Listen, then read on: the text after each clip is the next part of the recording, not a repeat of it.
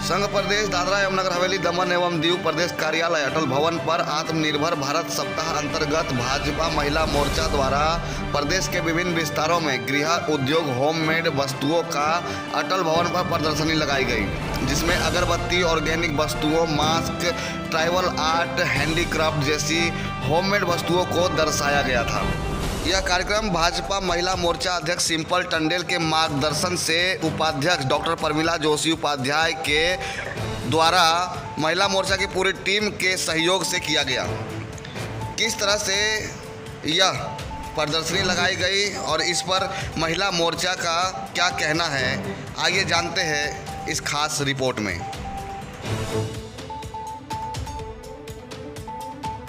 का विषय और जो हम सप्ताह मना रहे वो आत्मनिर्भर भारत का सप्ताह है।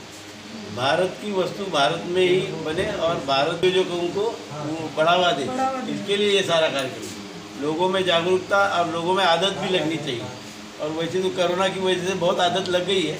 बहुत गलत गलत आदत थी। आहिस्ता आहिस्ता छूट रही है। धन्यवाद।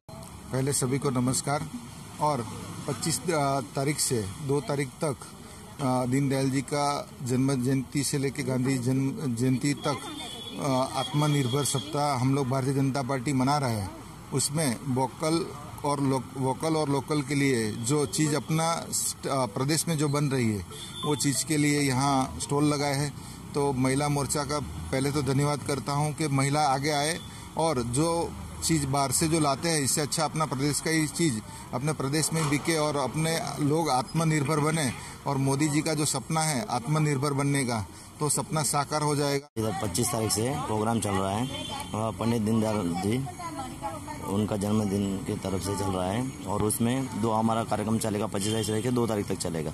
उसमें गृह उद्योग को बढ़ावा देने का कार्य चल रहा है। इसमें अभी महिला लोगों ने स्टॉल लगाया था तो इसमें गाँव गाँव तक मोदी जी ने जो भी स्कीम निकाला है, वो सब हम लोग को घर घर तक पहुँचाने का कार्य करने का और ये हफ़्ते में जितना हो सकता है उतना हम अलग अलग तरीके से अलग एक दिन कार्यक्रम करें करें।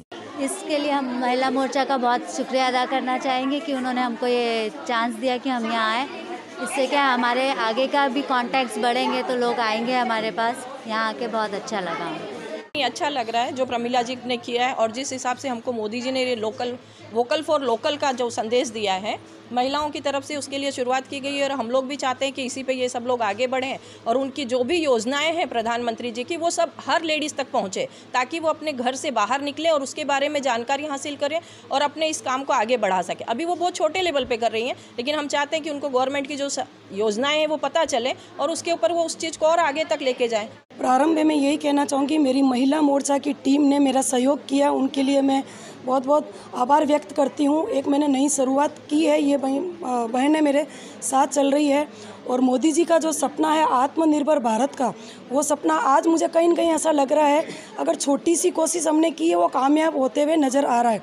आप देख रहे हैं यहाँ पे, हर जाति की, हर प्रांत की, हर तरह की लेडीज़ यहाँ पे है और अपना अपना स्टॉल लगा लगाया है। होममेड ज़्यादातर आइटम है।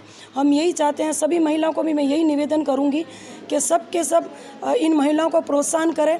इनका ज़्यादा से ज़्यादा इनका जो भी सामान है, उनकी मार्केटिंग करें। उन सबको बताएँ कि इन महिलाओं को भी रोज़गार मिले। जो मोदी जी का सपना है कि महिलाओं को हर कदम में वो आगे बढ़ाए।